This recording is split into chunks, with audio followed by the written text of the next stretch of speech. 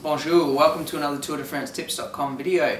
Um, today we're going to be talking about last minute Etape preparations. Um, this is for Etape 11, um, either of the Etapes. If you're watching this video in the future, this is applicable to your Etape as well. Um, all these things basically apply. First up, I want to talk about medical certificate. These things are really, really important. The French are really strict about this. Um, make sure your doctor has signed this, he's stamped it as well. It should have his address, his practitioner number, any and um, all information you can get on here um, is good. Uh, more information the better. Make a copy of it, take a photocopy or stick it in Dropbox and sync it up with your iPhone or your Android phone or laptop or whatever so if you lose that you've got another electronic copy.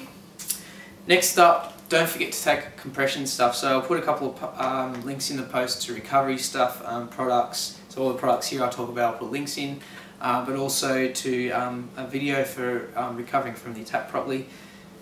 These Swiftwick socks, I can't recommend them highly enough. I use them myself. They are awesome, not just for um, long races or a ride like the Tap, um, but also for the airplane. They're good because um, they're quite um, they're quite dense and they've got a really good compression effect, so they promote healthy blood flow from your legs, which is important on a plane. Um, likewise, get some 2XU stuff. Um, I've got these on because I've just been running for, for training for the Tap. Also good for on the plane and for the day after, get these on your legs and that night as well, um, so you can wake up and you don't feel absolutely ragged. Um, as well as um, the compression stuff, um, maybe think about taking a, a, foam roller or something like that. Not obviously not this big, probably half the size and, and, a bit bigger. This is just a pool noodle, but something like this will be awesome for helping you recover. You can do the legs, there's a, I'll put a link in this post to um, a video, another video I did on how to use this properly. Um, consider taking a baseball or a tennis, two tennis balls in a sock, um, or a golf ball for to aid your recovery. Again, you can get into your legs, you can get into your glutes, um, whatever else is, or your calves and your quads. Um, so these are these are great for recovering from something like the tap. Um, camera for a lot of you watching, this is going to be the trip of a lifetime. Um, and even if you've done it before or you're going to do it again, take a camera. Um, I can't recommend it, taking one highly enough. Um, you know, you might have a camera on your phone, on your iPhone or whatever, but having something like this, you can easily just press one button and snap a photo is really good. Um, I don't mind stopping to take photos if I see someone really bent over and, and, and cramping or, or, or worse, um, take a photo for the website. But um, if you're with your friends or, or, whatever, or you see some great scenery, or you just want to get happy snaps, take something like that, and um, yeah, feel free to send them in. I'll put them up on a on a, tap trip report or um, trip report for you guys. Tools. Now, um, you only really need a simple toolkit, and definitely take spares. You need to be self-sufficient. The sag, there is a sag wagon for the tap, but it's hours hours behind. Um, so it's really meant for those who are just absolutely struggling, or haven't prepared properly or who are sick or whatever. So make sure you're self-sufficient. Just take a small toolkit and one or two spares. If you're with friends, you probably only need one spare each because I don't think you'll all flap. Um, worst case, if you roll into town, there'll be a bike shop. You can get some more spares if you need them. Uh, this is this next point is mainly for the people doing the Etape Alps. You're going into the high Alps, the Galibier especially. I think it's 2,600 meters. Um, it's a long way up. It could be very very cold. It could be windy um, might even be snowing. Uh, the descent from the Galibier down into Bourg d'Oisans I think is about 45 k's and it's very fast and very very steep, particularly from um, I think it's the Glen Nord down through La Grave into Bourg d'Oisans It's basically straight down and super super fast. Um, don't want to get you don't want to get a cold and you don't want to get cold and get sick. So what I recommend is something like a, a craft base layer. These are awesome. They're only 25 um, Australian dollars on Wiggle or Chain Reaction. Um, good when you're going up the hill, just unzip and let all that, um, they wick the moisture away and keep you nice and cool. And then when you're going back down the mountain, they'll keep you warm. Likewise, not in this colour, this is Melbourne winter riding colour.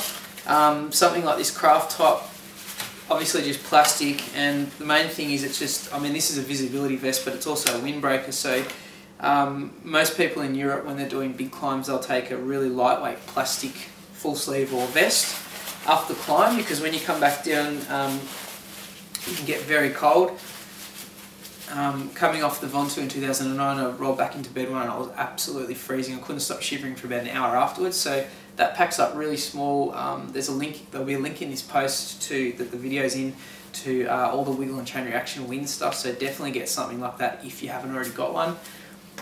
Uh, and on that, if you're going to do, well, it doesn't matter if you're doing uh, Etape Alps or Etape Issoire, take a rain, a rain jacket and booties. Um, for me, if it's snowing and really horrible, I'm not going to bother doing it. I know it's a long way to go, but um, you know, 109 kilometers in the high Alps in snow, not really, not really keen on it. So, but if you're dead set on doing it, no matter what the weather, definitely take a rain jacket and booties. Next thing is eating. Now, most of you, or probably most of you, have your eating sorted out. Uh, it's a bit of a crapshoot on whether there'll be enough feed stations. Last year for the Tourmalet, there were. I think there was three feed stations that had lots of food, um, oranges, um, sweet cakes, um, bananas. I think from memory, lots and lots of gels, um, and lots of water.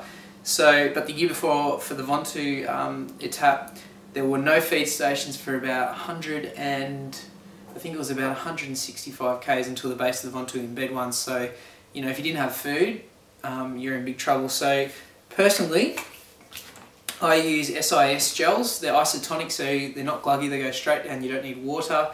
Um, they're easy to get down than something like a hammer gel, um, though hammer gels are really, really good as well. Um, so for me, before I before I start the tap, I'll be having their, their fat burner gel, just um, metabolize fat stores and really release some, some energy for the ride. Uh, during the ride, I'll have Go gels. They're just their standard gel. And then they've got the Smart Gel with a lot of caffeine, so probably before before the and before the Alpe I'll have one of those. Um, otherwise, you can get something like a Clif Shot Block. These are good, or you know, same thing as having jelly beans, but this is just what I use. Um, and for normal eating, Clif Luna bars, good because they've got protein and also fat, or just a standard Clif bar. So probably I'll take a big hand, probably mostly gels, and then if I get really, really hungry, I'll stop at a feed station um, and get bananas or whatever else. Uh, worst case, you can stop in town, and in one of the towns you go through and get a croissant or stop and get a coffee um, if you want, if you really need a proper food. So yeah, I hope this has helped you with your last minute tap planning um, and, and getting ready to go on your trip. You should by now have done some training. Um, if not, it's not too late. You can do some running and some squats and stuff like that, lose some weight. Um, it's probably too late to get a lot of base kilometres. We've covered medical certificate. That's really, really important. Do not forget that. I haven't done mine yet, so I better get that sorted next week. Um, eating on the tap. Um, most of you will know when you need to eat. Um, just make sure you eat um, before you really need to and hydrate. Um, don't drink too much water. You need sodium as well. And what else have we got? We've got the wind. It's important to take wind protection. if it's really hot, you'll probably be okay. The Central Massif Etape, um, Etape Issoire, you'll probably be okay with our windbreaker unless it's really, really windy out of the out of the north. I think is a really cold wind, the, the Mistral wind, the Mistral wind. Um, otherwise, I think from from what I can tell, the Central Massif um, Etape or Etape Issoire is quite through a lot of forest and stuff, so hopefully it won't be too cold. Um, and yeah, for Etape Alps, if it's not really cold and it's, it's quite warm, you probably won't, won't need a windbreaker, just maybe a base layer might be a good idea. Um, check out the post for there's a there's a packing list so um, give you some ideas I hope um, most of you will be okay with packing list obviously but this has got some stuff you might not have thought about and also there's a video to um, to show you how to recover using the